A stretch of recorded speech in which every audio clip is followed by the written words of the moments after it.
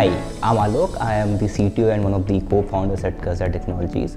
Uh, is essentially a technology-driven company. Uh, in last three years, we have been working on some of the pretty cool, pretty amazing problem statements. If I was just talk about if you want to create, let's say, a distributed graph algorithm which is working on hundreds of different machines, or if you want to create a universal OCR engine which can, you know, process any document, can extract the characters out of it, can actually make sense of any document regardless of the type or the density of the text there or think about creating a data pipeline which is spanning across six, seven different type of databases. Apart from that, one thing what really stands out in Karza usually is our way of thinking. Everyone in Karza usually believes in first principles of thinking. And that is something, that's why we have been able to create a state-of-the-art algorithms for name matching, address matching.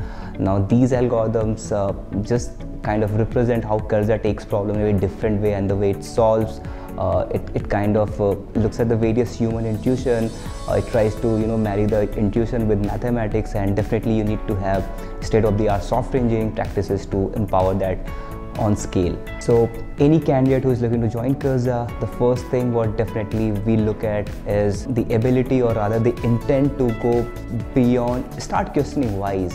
Rather than taking things as granted, you should even ask basic things like if you are, let's say you are a data scientist, you are ask why feature scaling is important for regression. If you are a software engineering, ask why why binary search is the best searching algorithm. Why not you break into three parts? If you are a big data engineer, probably you should be able to answer why there are 10 different data stores. So it's ultimately it boils down to first principles. If you can start seeing the patterns, if you can start seeing the fundamental ideas behind everything whatever has evolved in last 30, 40 years in technology, I think you love Karza because that there's one place where we really respect the whys and this is what has helped us in building one of the best solutions for some of the really core problems for the entire Indian fintech ecosystem. So definitely more than happy to you know meet candidates who have this kind of thought process and uh, uh, yeah, let's make uh, at least India a great place. Let's make the business much more smoother using technology.